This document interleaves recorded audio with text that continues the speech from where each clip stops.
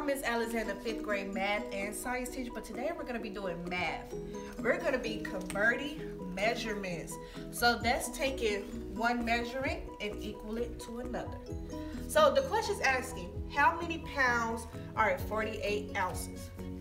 So we're converting ounces to pounds. So the first thing you should do is write what the question is asking. 48 ounces is equal to blank pounds. Now, if we think about it, hmm, in our little thinking bubble, 16 ounces equals one pound. Hmm.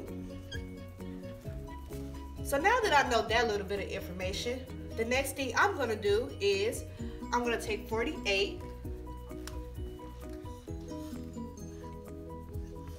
and I'm going to divide it by 16.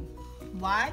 Because we are converting from a smaller unit like ounces to a bigger unit like pounds, you have to divide. So, how many times can 16 go into 48? Well, I know that 16 cannot go into 4, but it can go into 48 three times. And then if I do the long division way, 16 times 3, that gives me 48.